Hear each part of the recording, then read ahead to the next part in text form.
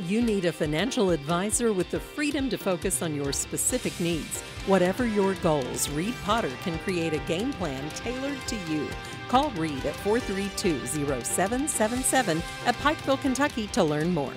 Beginning February 15th, Kentucky fire season will be in effect. Residents will only be able to burn natural materials between the hours of 6 p.m. and 6 a.m. until April 30th. Pikeville Fire Department is offering general information as well as some tips to ensure everyone's safety at this time. You got to stay with it. And that way, if something were to get out of control, you can go ahead and call, and then the fire department or forestry will come out and assess the situation and see what needs to be done.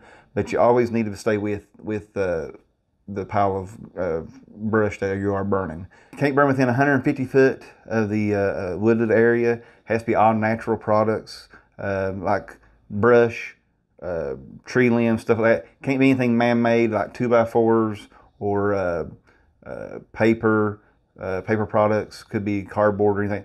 Can't burn any of that stuff. Just natural products.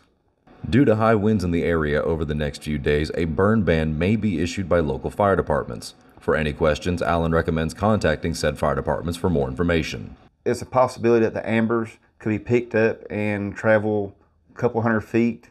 Uh, you would think it would go out, but sometimes it's not, and it can actually land back into a uh, pile of brush or other foliage that hasn't that's still there. It's piled up. Just check your weather conditions because it may be that it's going to be really windy. It could be uh, rainy, and if you, you can't burn anything in the rain, of course. But just check your weather conditions and check with your local fire departments to see if there is a, a, a burn ban that's in effect that's uh, been established by either the governor or the Division of Forestry.